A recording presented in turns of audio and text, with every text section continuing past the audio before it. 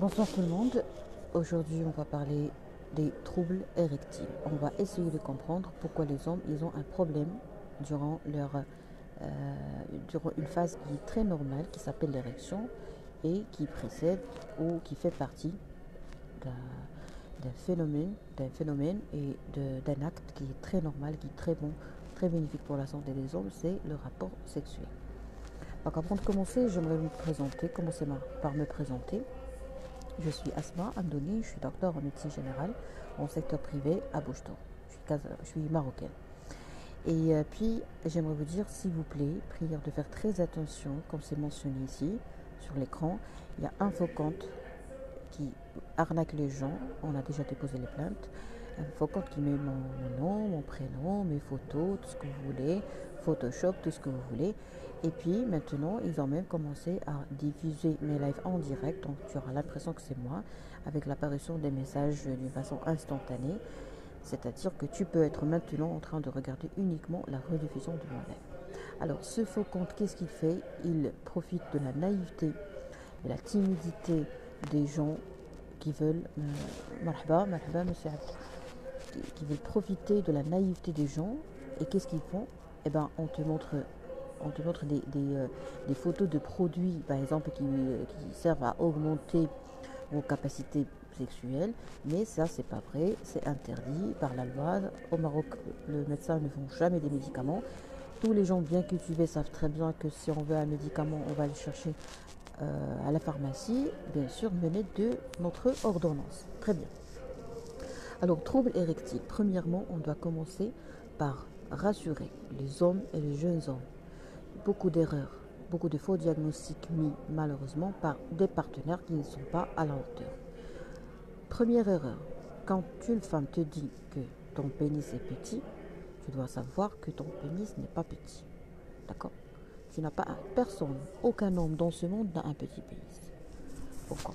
Parce que quand on voit les vagins des femmes, moi je suis sollicitée à faire des... Euh, écoutez, je vais vraiment cacher tous les commentaires. Ne vous donnez pas la peine de poser un, commentaire avant que je vous donne le feu vert. Parce que vraiment, il y a beaucoup de gens qui parlent à droite et à gauche, d'autres qui parlent à travers le chapeau.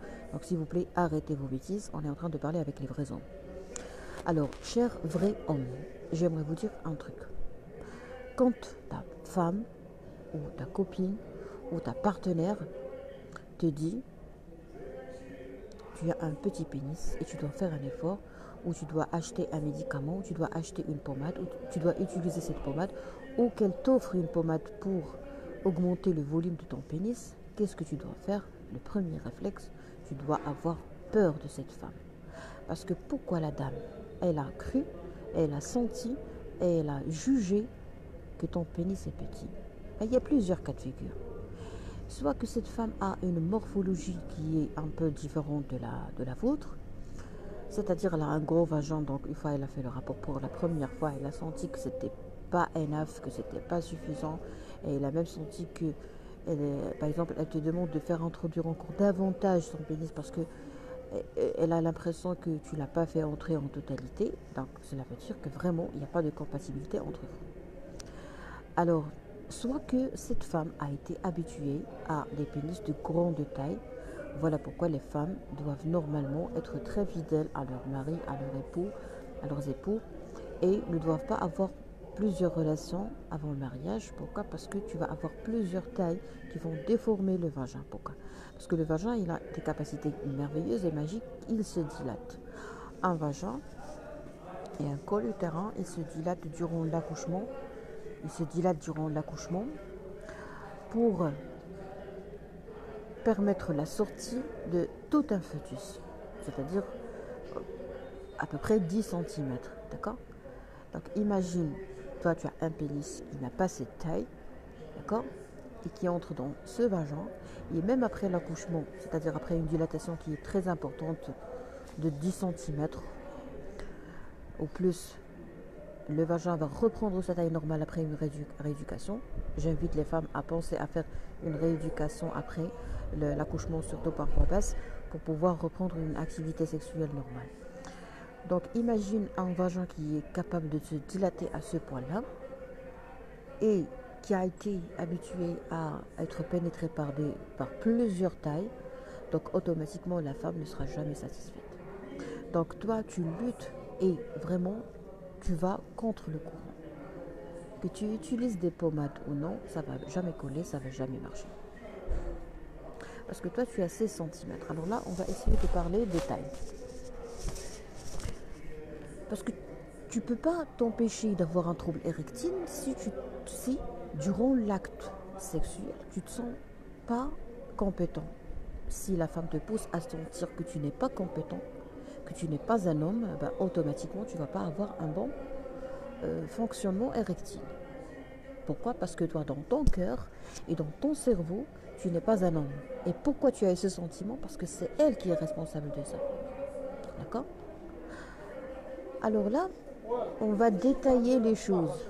Alors là, on va détailler les choses. Si dans ta tête tu n'es pas un homme, tu, es incompétent, tu ne le seras jamais. Si dans ta tête tu es incapable, tu le seras jamais. Donc pourquoi cette femme te pousse à sentir que tu as un petit pénis? On a dit soit qu'elle a une morphologie qui est un peu différente de la, de la vôtre, soit que cette femme a déjà fait plusieurs rapports avec plusieurs tailles, donc c'est un peu difficile de la satisfaire. Soit que cette femme a déjà, fait a déjà eu un accouchement par voie basse avec une épisiotomie, avec des complications de cette épisiotomie. Donc, elle a, vraiment besoin de faire une consultation de gynéco euh, dans le cadre esthétique et tout. Soit que cette femme a un problème musculaire, une myopathie, c'est-à-dire une maladie des muscles qui sont dilatés d'une façon anormale, soit que tout simplement, il y a quelque chose qui ne va pas entre vous. Alors dans ce cas, ce n'est pas toi qui es malade. On ne dit jamais à quelqu'un tu es malade. Un couple doit faire une consultation de couple, que ce soit en médecine générale, c'est-à-dire dans mon cabinet, je dois voir des couples. Soit chez un gynécologue, donc la femme ne doit pas partir toute seule chez le gynécologue, et le monsieur ne doit pas partir tout seul chez l'urologue. La consultation du couple également, on a, ce qu'on appelle des thérapeutes du couple ou des psychiatres qui traitent, qui sont spécialisés ou des psychologues qui sont spécialisés dans les thérapies du couple ou des couples. Donc, tu n'as pas le droit de permettre à ton partenaire ou ta partenaire de te pousser à croire que tu es malade et de te laisser partir tout seul chez le médecin. D'accord? On a fait un rapport, tu crois que, je suis incompétent, que tu crois que j'ai un trouble érectile, tu crois que mon pénis est petit, ok, il n'y a pas de souci. On va tous les deux chez le médecin. Tu ne dois pas avoir honte. Pourquoi? Parce que quand tu vas partir chez le médecin avec ta partenaire ou avec ton épouse, le médecin, écoutez, votre partenaire ne pourra jamais mentir à un médecin parce que le médecin, il va l'examiner. Il sait très bien qu'est-ce qui se passe quand je vais t'examiner, je vais examiner ton anus et je vais comprendre que toi, tu t'es habitué à faire des rapports par voie anale avec un pénis de grande taille, alors que ton cher mari a un petit, a un pénis relativement plus petit que le pénis qui pourra te satisfaire par voie anale. Donc automatiquement, tu vas demander le divorce, tu vas le trahir, tu vas le tromper. Donc toi, ton pénis est suffisant pour un plaisir par voie vaginale, mais la femme, elle veut un plaisir par voie anale. Alors ça, c'est une catastrophe. Et l'homme, tu sais, vous savez, l'homme, une fois tu l'excites, tu lui dis par exemple, euh, je sais pas, tu lui montres tes fesses ou quelque chose comme ça, il va, ou tu, tu continues à l'exciter, il va devenir très curieux et il va avoir envie de faire cette chose-là. Donc, fais très attention les hommes. Quand une femme ne cesse pas de te montrer quelque chose, de t'exciter, de te raconter, de te décrire des choses, on arrête tout ça soit tu vis, comme on dit en arabe, soit tu vis le moment, soit elle doit la fermer. D'accord?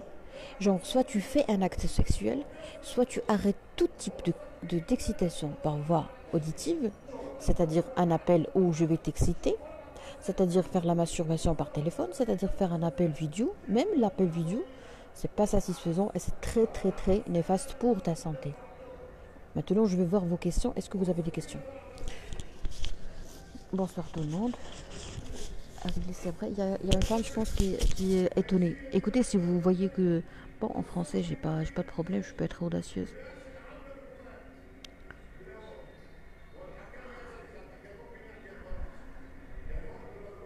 Alors, est-ce que vous avez des questions par rapport à ça? Est-ce que vous avez déjà souffert de ça? Est-ce qu'on vous a déjà jugé incompétent? L'homme n'admet jamais visiter un médecin quand il s'agit d'une maladie sexuelle. S'il le fait, il le fait discrètement. Très bien. Alors ça, c'est une bonne... Ça, c'est un bon commentaire. J'ai trop aimé. Alors là, il y a... Il y a plusieurs cas de figure, ok? On va partir très doucement. Je comprends très bien que si l'homme part chez le médecin, il ne part chez le médecin que vraiment que lorsque les choses vraiment deviennent obligatoires. D'accord? Pourquoi? Parce que dans son cœur, il ne veut pas admettre que c'est le, il croit que être un homme, c'est être capable de faire un rapport sexuel. Donc c'est un problème d'idéologie. Je vais vous dire un truc. La femme, la vraie femme, parce qu'il y a la vraie femme, il y a, la femelle, il y a la il y a la prostituée, il y a la femme qui faisait de la prostitution euh, prestigieuse, si vous voulez. Donc, la vraie femme, elle peut avoir son orgasme avec un homme qui a un problème sexuel. Un, homme qui n'a pas de zéro érection, zéro capacité, zéro pénis, Tu peux avoir ton plaisir avec un homme qui a zéro pénis, qu'on lui a coupé le pénis. Quand Quand il est un vrai homme. Vous n'allez pas comprendre ça parce que vous n'avez jamais été des femmes. Mais les femmes, ils vont comprendre ça. Pourquoi À votre avis, on va essayer de comprendre. Pourquoi Moi, je suis médecin, je sais très bien ce que je dis. Pourquoi les femmes dans les pays musulmans et les pays arabes et dans plusieurs pays arriérés, pourquoi les femmes n'ont jamais eu leur orgasme avec leur mari? Pourquoi? Parce que cet homme, il ne comprend pas le corps de la femme. Et la femme ne comprend pas le corps de l'homme. Les femmes ne comprennent pas que quand l'homme veut faire le sexe, tu dois dire oui. Tu ne dois pas dire non. Et l'homme doit savoir que cette femme à qui tu vas demander un rapport sexuel, tu dois savoir que elle est fatiguée, elle est épuisée, elle a fait le grand ménage, elle est fatiguée, elle n'a pas d'effort, elle n'a pas de tonus, elle n'a pas de force musculaire, elle n'a pas de force pour se tenir debout. Elle est malade, elle est fatiguée, elle veut dormir. Elle veut s'allonger, elle est trop fatiguée. Donc tu dois l'aider. Il est possible qu'une femme puisse avoir un orgasme lors de relations sexuelles par anal cellulaire. Oui, oui, il y a des femmes qui ne peuvent avoir leur orgasme que par voie anale. Moi, j'ai déjà vu des cas de divorce où la femme lui dit, demande au mari, euh, fasse des chantages, soit tu vas me pénétrer par derrière, soit on demande le divorce. Même s'ils ont des enfants, même... Écoutez, c'est comme ça. Elle s'est habituée à faire quelque chose. Parce que le problème dans le sexe, ce n'est pas de qu'est-ce qui est normal, qu'est-ce qui n'est pas normal. À quoi est-ce que je me suis habituée? Par exemple, une femme qui fait de la masturbation, c'est une femme qui va souffrir. Si tu veux te marier, si tu veux avoir un rapport sexuel normal, tu dois avoir une excitation parfois vaginale et non pas clitori euh, clitoridienne, ok? Parce que quand tu excites ton clitoris en permanence, le jour J où tu vas te marier, tu vas demander à ton mari de faire un rapport superficiel.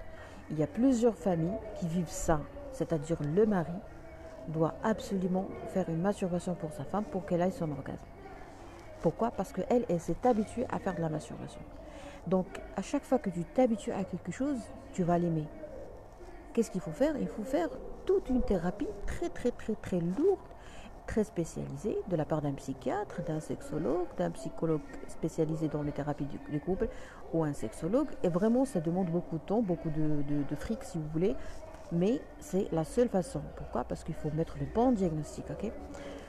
Je regrette d'avoir pratiqué le sexe avec ma femme sans sans sans sans j'ai pas compris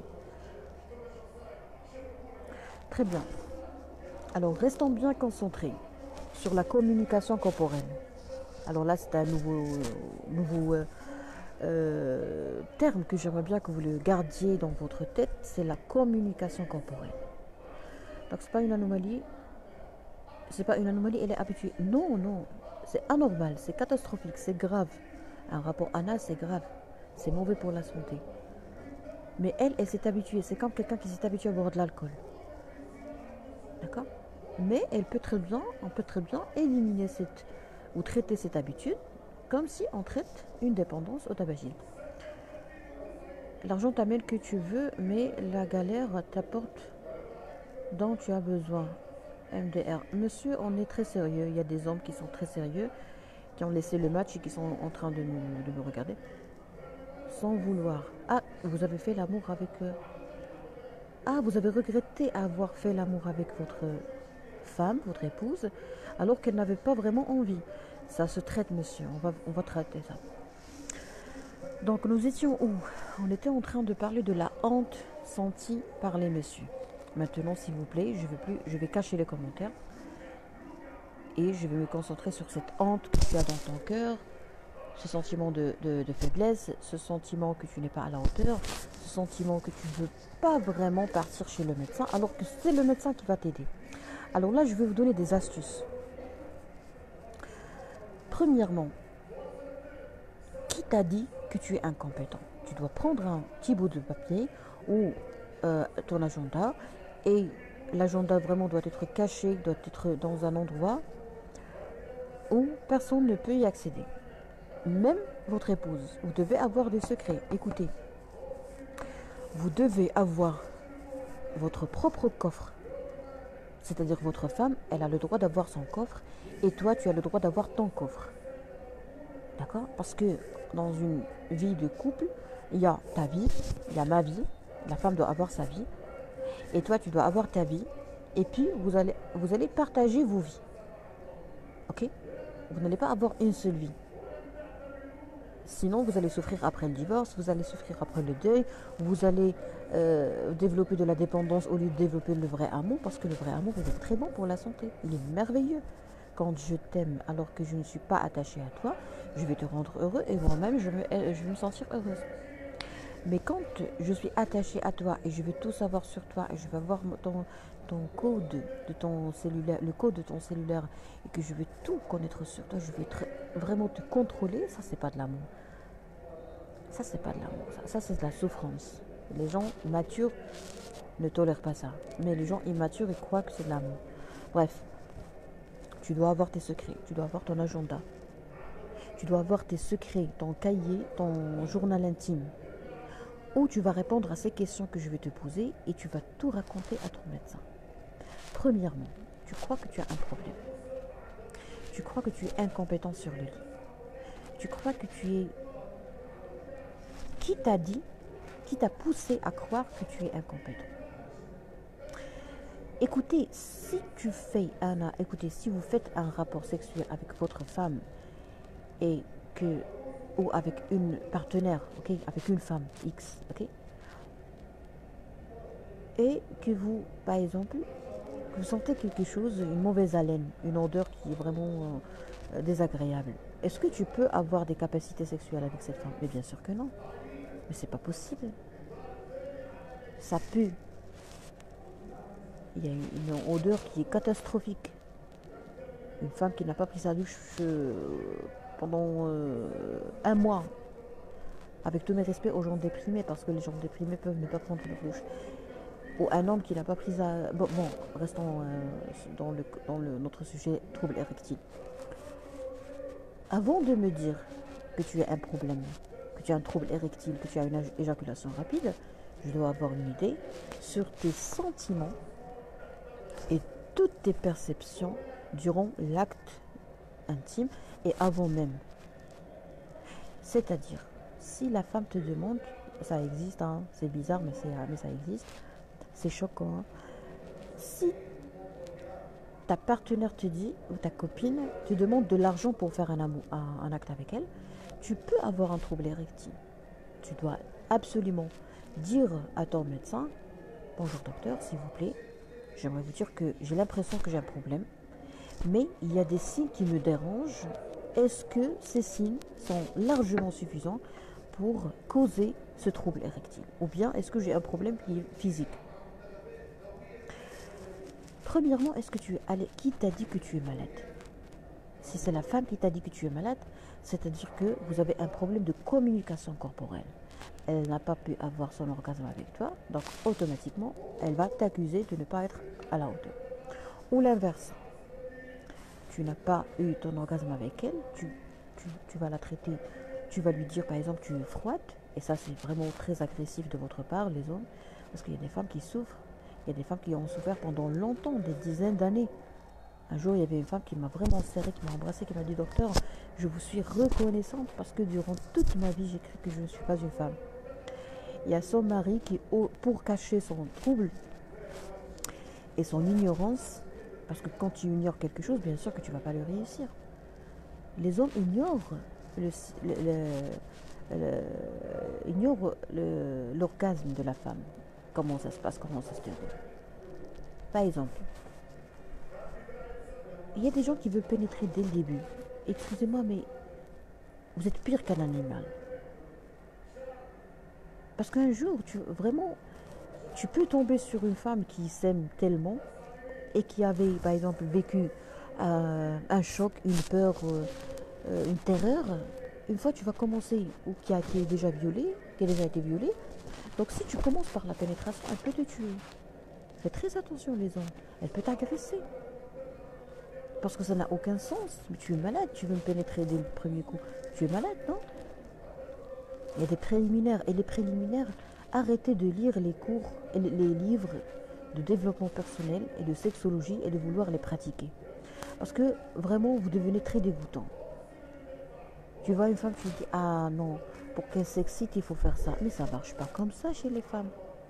Ah non, pour qu'elle soit excitée, je vais l'embrasser sur le cou, et puis je vais l'embrasser dans la partie lombaire, et puis je vais lécher telle région, et puis après, je peux la pénétrer. Mais c'est pas.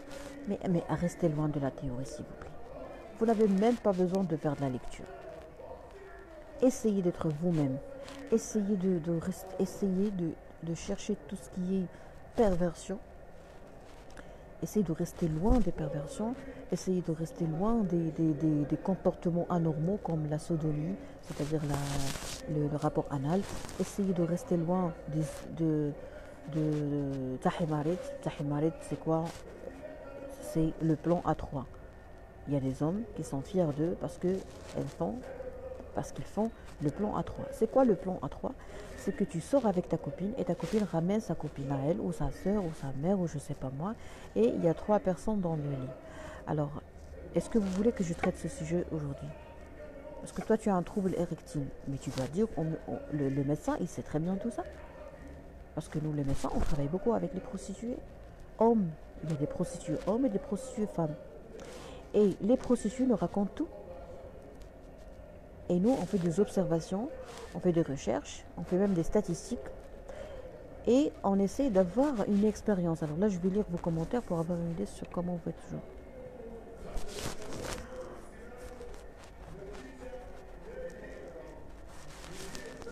Bon, je vais patienter un peu, je vais donner la parole aux gens sérieux. Les gens qui ne sont pas sérieux, les frustrés, je vous connais très bien, je ne veux pas répondre à vos euh, bêtises. Écoutez, avant de dire que tu as un trouble, on a dit premièrement, tu vas écrire ton agenda qui est-ce qui t'a qui est, qui est-ce qui a posé le diagnostic de maladie. Cela peut conduire à ah, il avait supprimé.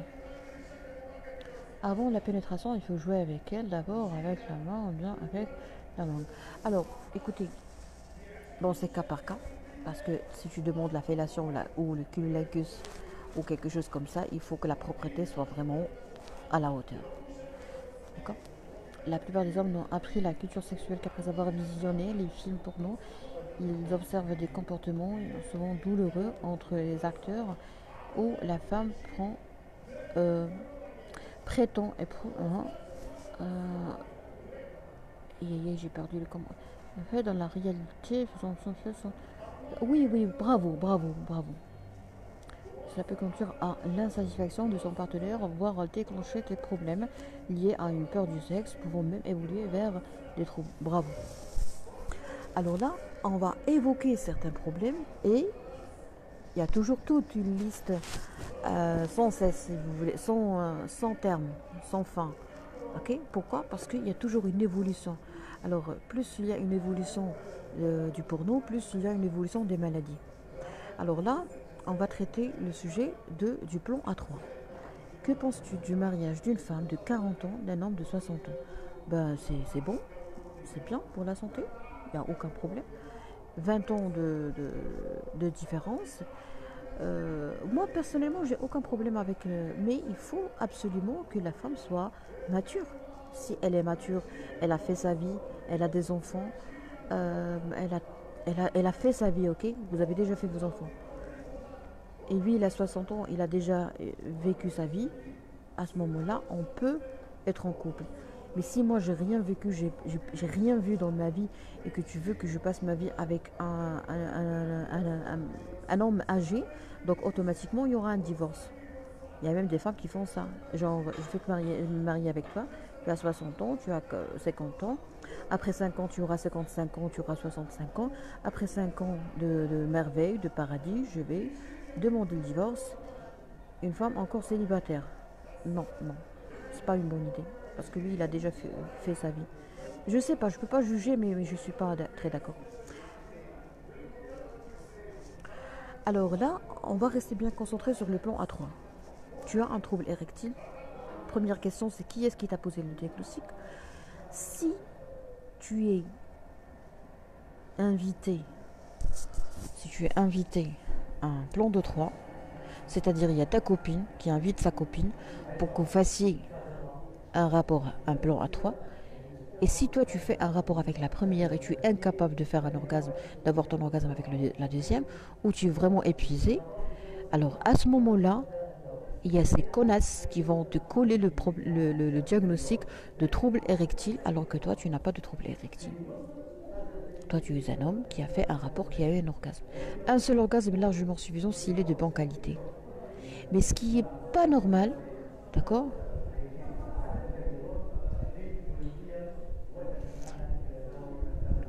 L'homme a 60 ans. Permettez-moi de répondre à cette dame, s'il vous plaît. L'homme a 60 ans. Elle a une fille de 15 ans. Il s'est marié seulement deux ans. Cet homme n'est pas responsable. Il a 60 ans. Il a passé deux ans de mariage durant toute sa vie. Donc, il n'a pas. Il n'a rien à voir avec un homme qui a passé une longue durée de mariage. Donc, il n'a aucune preuve de responsabilité ce monsieur doit être évité et vous devez absolument parler avec vos parents. À chaque fois que tu as un problème, à chaque fois qu'un homme divorcé te demande le mariage, tu l'envoies directement à ta famille. Parce que vraiment, ils sont dangereux, les, divorcés. Les divorcés, ils ont déjà fait leur vie. Ils veulent juste reprendre leur jeunesse, rafraîchir leur jeunesse. Tu veux rafraîchir ta jeunesse, mais moi j'ai 40 ans. Je peux me marier avec quelqu'un qui a 35 ans, qui a 37 ans, qui a même 40 ans et vivre 20, ans de joie avec quelqu'un qui a 40 ans comme moi.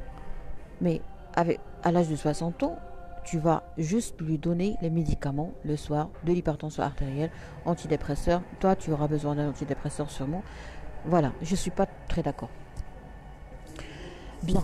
Alors, le plan A3, je vais cacher les commentaires parce que vraiment, il faut se concentrer qui t'a posé le diagnostic de incompétent ou tu as ou euh, de troubles érectiles, c'est ta copine. Ta copine, elle t'a demandé des trucs bizarres. Donc on n'a pas le droit de dire que j'ai. Tu n'as pas le droit en tant qu'homme.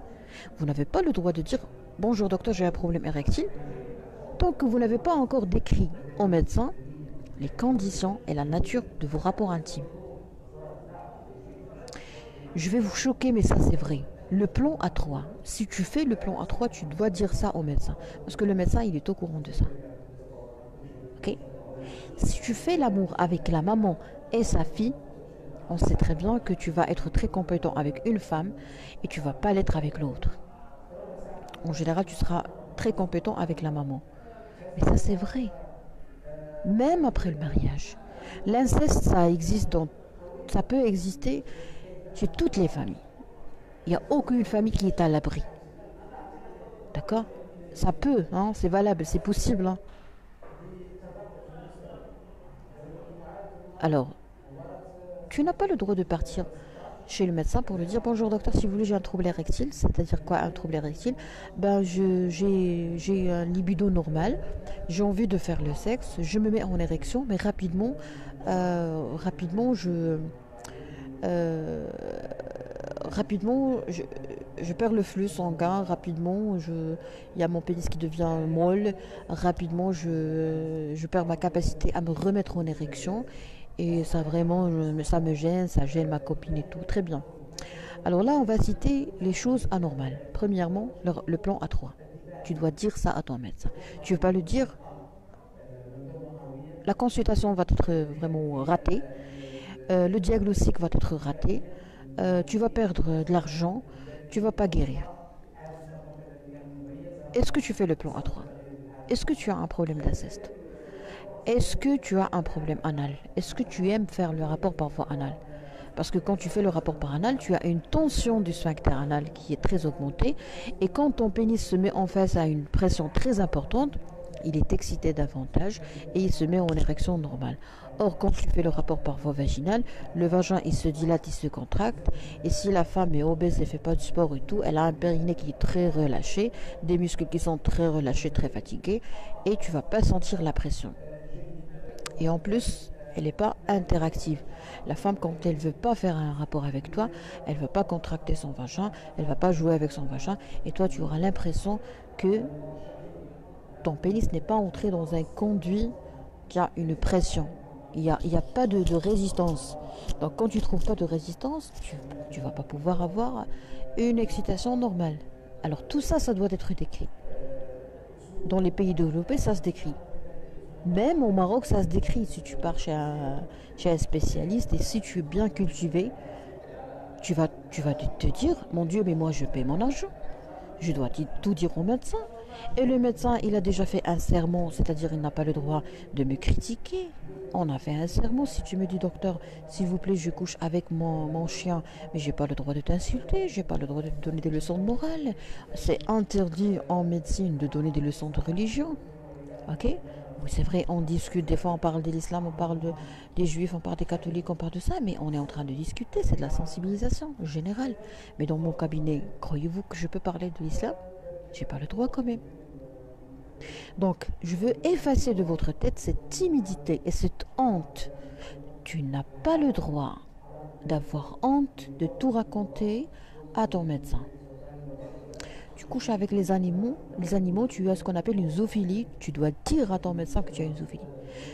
Tu couches par derrière, tu auras toujours un trouble érectile par le vagin. Tu dois dire ça à ton médecin. Ta femme a fait un accouchement, elle a accouché par voie basse et elle a fait une épisiotomie avec une épisiographie qui n'est pas normale, c'est-à-dire on a fait les sutures d'une façon qui n'est pas esthétique, qui ne respecte pas là, ça arrive, hein, parce que des fois les sutures sont faites par les sages-femmes. Des fois il y a, je sais pas, il y a un accident, il y a un problème, il y a le forceps, il y a un accouchement qui est très euh, qui est très difficile. Des fois c'est le, c'est le fœtus qui paye les pots cassés, des fois c'est la femme qui paye ça trop cher. Ok? Donc toi, qu'est-ce que tu dois faire? Tu dois être conscient tu es impatient et que tu as des droits. Et parmi tes droits, tu dois être écouté par le médecin et tu dois être respecté par le médecin. Si tu me dis bonjour docteur, s'il vous plaît, je fais un rapport avec ma mère. Et ma mère est enceinte. Vous savez, j'ai pas le droit de critiquer. J'ai pas le droit de dire non, mon Dieu. J'ai pas le droit de faire une mimique de mécontentement. D'accord? J'ai pas le droit de montrer, même avec une simple expression faciale, que j'ai été étonné. On n'a pas le droit d'être étonné par ce que le patient nous rapporte. Donc, moi, ça me fait de la peine de voir des gens, surtout que maintenant il y a une fausse page qui, euh, qui essaye de, de me créer des problèmes avec les gens. Ça me fait de la peine de voir des hommes faire les mains et les pieds pour s'acheter et s'offrir des médicaments. Ils sont arnaqués par, ma, par euh, la fausse page qui porte mon nom.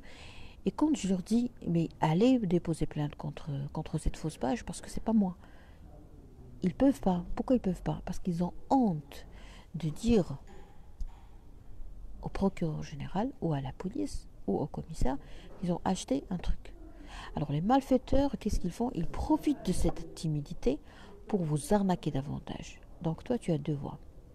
Soit tu vas être arnaqué, ok soit tu vas être arnaqué et tu vas pas pouvoir te défendre, soit tu vas arrêter toute cette pièce théâtrale pourrie et tu vas tout raconter à ton médecin. Ton médecin doit être ton confident. Tu dois tout lui dire. Tu dois tout lui raconter et il est obligé de t'aider. Tout en restant discret. Genre, c'est-à-dire, si tu me dis bonjour docteur, j'ai un trouble érectile, et que la prochaine fois tu ramènes ta femme pour euh, une gastroentérite, je n'ai pas le droit de dire, de vous poser la question Bonjour monsieur, ça va Vous allez bien Le rapport avec votre femme, tout va bien Votre vie conjugale, elle est au top? J'ai pas le droit de dire ça. Moi, quand un patient vient consulter chez moi et quand il est satisfait de la consultation, quand il me ramène sa femme, je fais, je fais semblant que c'est pour la première fois que je, que je le vois pour la première fois. Pourquoi? Parce que ça s'appelle être professionnel, ça s'appelle respecter le secret professionnel. D'accord? Écoutez, les maisons, quand tu fermes la porte de la maison, vraiment, tu, tu fermes une porte d'un, d'une boîte noire. Les maisons sont comme des boîtes noires, il y a beaucoup de secrets, on ne sait pas qu'est-ce qui se passe. Et le médecin, il sait très bien qu'il y a des secrets. C'est-à-dire que quand tu viens et que tu me racontes pas tout, je sais très bien que le traitement ne va pas être efficace. Je m'arrête, je te dis, est-ce que tu as un rapport anal? Tu me dis non je suis un bon musulman. Moi, ça ne m'intéresse pas que tu sois un bon musulman ou un juif ou un catholique. Vous devez garder ça dans l'esprit. D'accord? Alors, on a dit le plan A3, on a dit euh, la voie anale, on a dit la zoophilie ou les rapports avec les animaux, on a dit l'inceste. Maintenant, il reste un point très important, c'est quoi? C'est quand tu as peur durant l'acte intime. Alors, il y a beaucoup de jeunes hommes qui ont un trouble érectile tu n'as pas une érection satisfaisante, tu as peur, tu es en érection et tout d'un coup tout peut tomber. Mais vous oubliez un petit détail, les musulmans. Quand tu fais le rapport sexuel avec une femme, il y a un grand problème qui s'appelle les relations, les rapports superficiels. Tu fais un rapport superficiel, tu es condamné à développer un trouble érectile. Pourquoi? Premièrement, tu as peur que la femme perde euh, sa virginité. Tu veux qu'elle reste vierge et en même temps tu veux être satisfait. Non, pas possible. Écoutez, quand je dis que le rapport sexuel, le rapport intime ou faire l'amour est très bon pour la santé de l'homme, c'est un rapport qui va mener ou qui va conduire à une éjaculation à l'intérieur du vagin. Ça, c'est le top, c'est le summum. C'est très bon pour la santé de l'homme.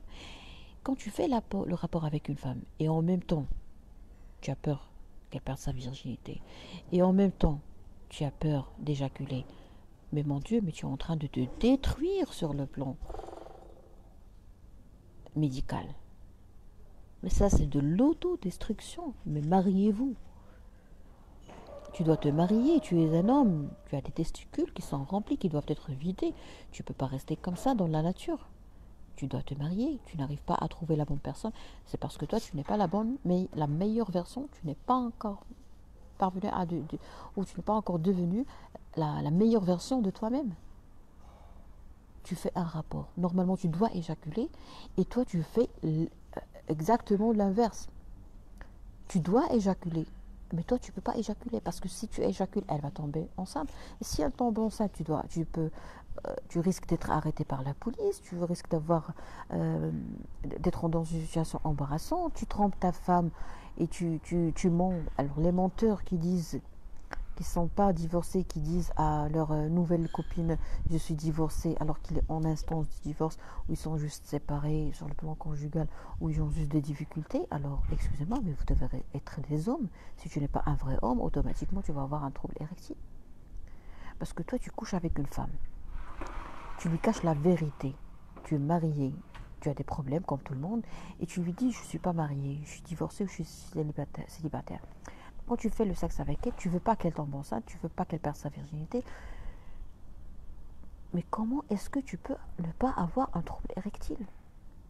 Alors là, il y a un autre volet de peur toujours, c'est quand tu fais le sexe, mais tu n'es pas à l'aise, tu n'es pas dans un endroit fermé, tu n'es pas dans un endroit sécurisé, tu n'es pas dans un endroit où tu es à l'aise, où tu es pressé par le temps.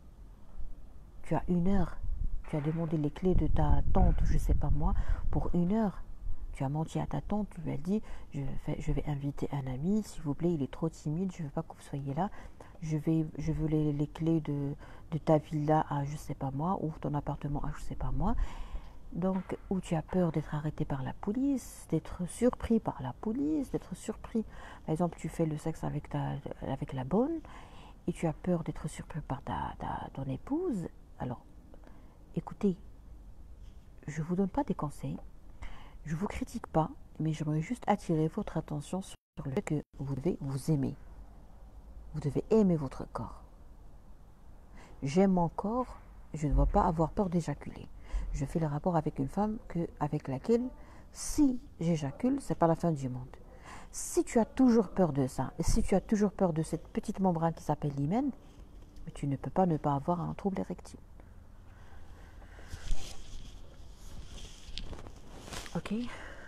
Alors, maintenant, j'arrive à voir les commentaires. Bonsoir, docteur. Comment se comporter avec quelques membres de la famille qui veulent connaître tout sur ta vie personnelle et parfois questions des questions que j'aime pas? Très bien. Alors, les membres de la famille qui posent tant de questions, on, on a laissé une fenêtre ouverte. Les fenêtres ouvertes sont trois. C'est la dépendance affective, la dépendance financière et puis la dépendance intellectuelle si tu développes l'indépendance affective, l'indépendance intellectuelle et l'indépendance financière, tu dois vraiment, tu vas vraiment faire monter les obstacles. Vous connaissez les obstacles en équitation, course avec obstacles. Tu vas vraiment faire, euh, faire monter le niveau des obstacles et les gens vont tourner leur langue sept fois avant de parler. Ils vont stresser avant de te poser des questions. D'accord? C'est très important. Rappelez toujours de ça. Rappelez-vous toujours de ça. Les trois types d'indépendance. Je suis indépendant sur le plan financier. Je ne veux plus demander de l'argent, de l'aide, rien de tout ça. Très bien. Donc ma famille va se sentir gênée quand elle pose la question à quelqu'un qui n'a pas besoin d'elle.